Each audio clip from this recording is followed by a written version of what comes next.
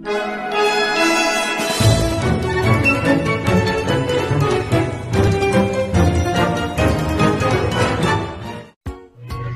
day, my dear students. You are here to learn how to illustrate the probability of the union of two events, which is denoted by this symbol, read as the probability of A union B. Let's begin this episode with activity 1. Suppose there are 11 balls numbered 1 to 11 inside a bowl. Determine the outcomes of the following events. A. Getting an even number. B getting a number divisible by 3. C. Getting an even number and a number divisible by 3. And D. Getting an even number or a number divisible by 3. I'm giving you 10 seconds to think about it.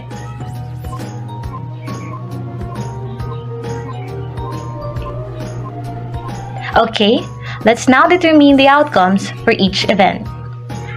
For event A, the outcomes are 2, 4, 6, 8, and 10 because these are the even numbers from 1 to 11. For event B, the outcomes are 3, 6, and 9 because these numbers can be divided exactly by 3. While for event C, the outcome is 6 because 6 is the only even number from 1 to 11 that is also a multiple of 3. And lastly, for event D, the outcomes are 2, 3, 4, 6, 8, 9, and 10 because they are the numbers that are either even or divisible by 3. Now, which of these four events shows an intersection of two events?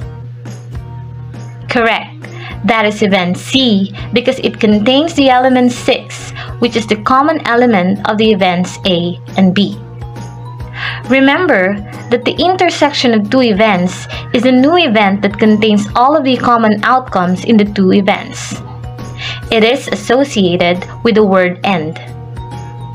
What about the event that shows union of two events? Very good. That is event D because we combine all of the outcomes of the two events A and B. Always remember that the union of two events is a new event that contains all of the outcomes that are in at least one of the two events. It is associated with the word OR. So take note that in the study of sets, the word AND means intersection, while the word OR means union. In this case, if we name the event of getting an even number as event A, and the event of getting a number divisible by 3 as event B, then we can name the third event as A intersection B and the fourth event as A union B.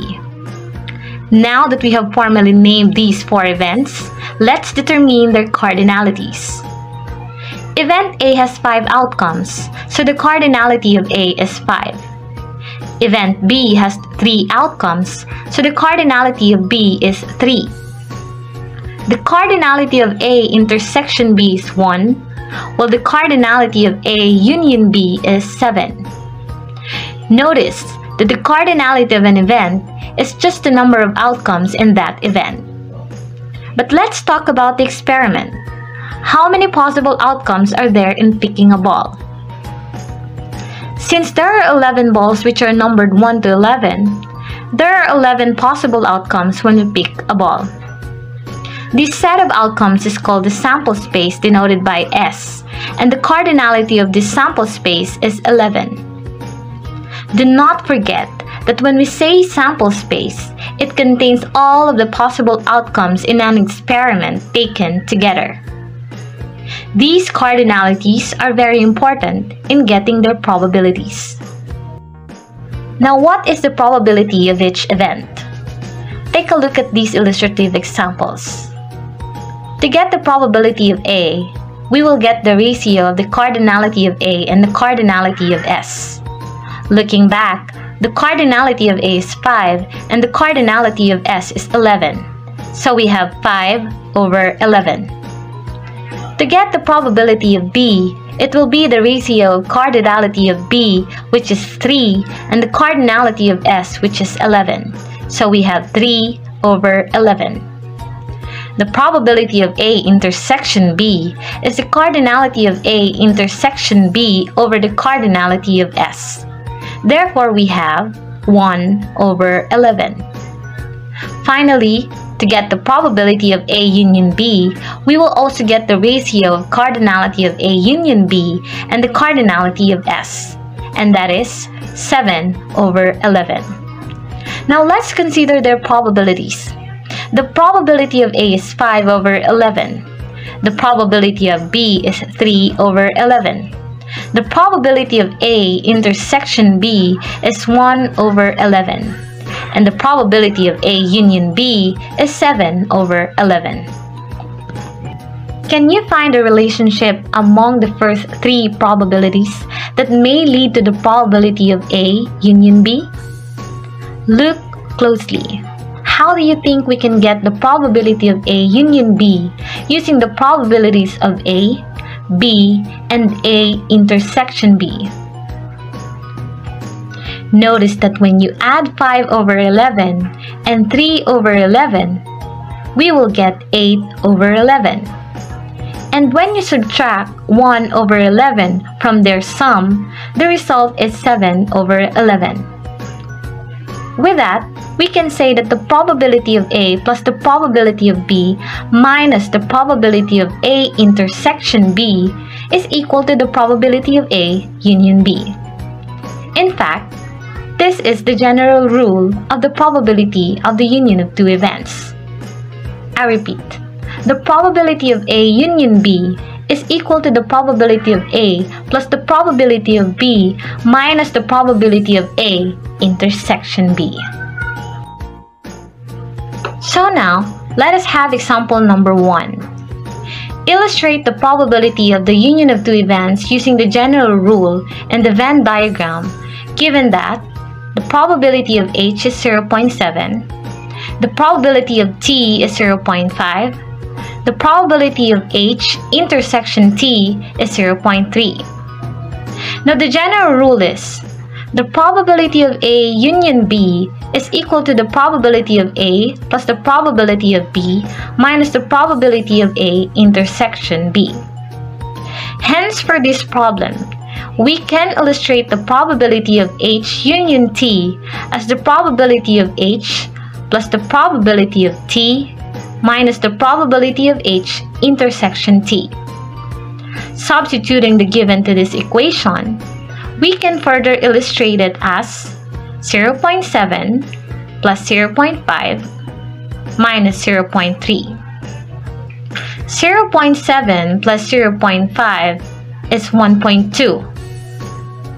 Then 1.2 minus 0.3 is equal to 0.9. Therefore, the probability of H union T is 0.9. We now illustrate the probability of their union using the Venn diagram. We start by drawing a rectangle and two intersecting circles, which will represent the probability of H and the probability of T. We have three regions inside the two circles, the blue, the green, and the yellow region. We start at the green region. What do you think must be written in this region? We actually write in here the probability of the intersection of H and T, and that is 0.3. What about in the blue region? Do we write 0.7? No. Remember that the probability of H is represented by the whole circle. If we put there 0.7, then we will have to add it to 0.3, and that is equal to 1.0. And that is not the probability of H.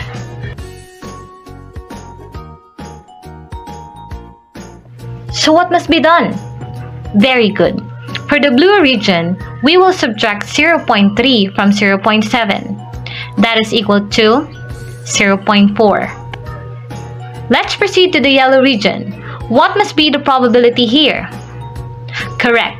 It is the difference of 0.5 and 0.3. That is 0.2.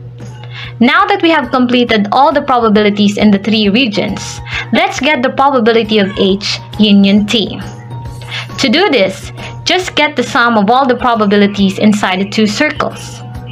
So that will be 0.4 plus 0.3 plus 0.2.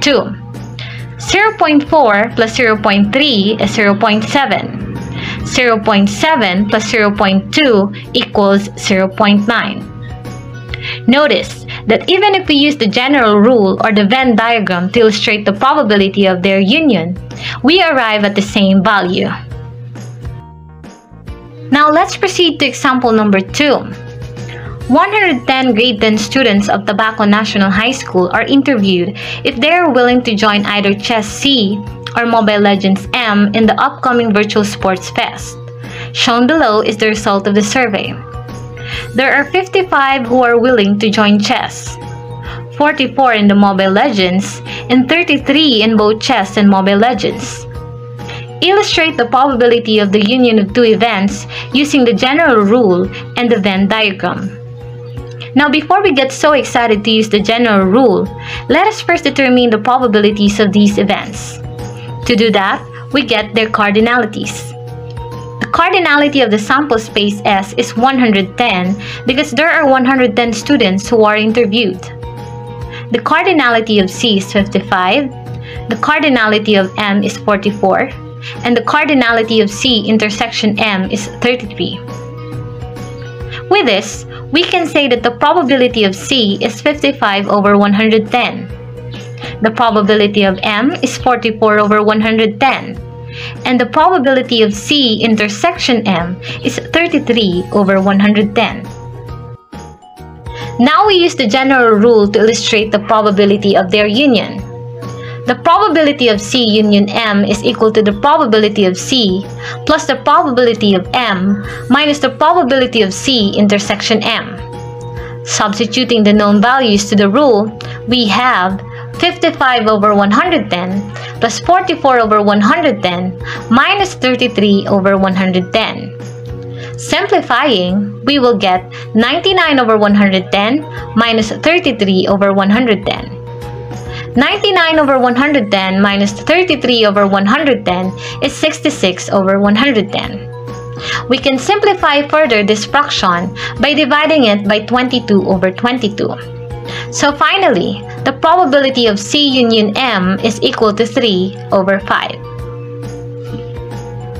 Now let's illustrate this also using the Venn diagram. Given the probabilities, let's draw a rectangle with two intersecting circles inside it. For convenience, we start filling in the green region which represents the probability of the intersection of C and M. We write 33 over 110. In the blue region, we will subtract 33 over 110 from 55 over 110, and that is 22 over 110. In the yellow region, we will subtract 33 over 110 from 44 over 110. The answer is 11 over 110. To get the probability of their union, add all the probabilities in these three regions.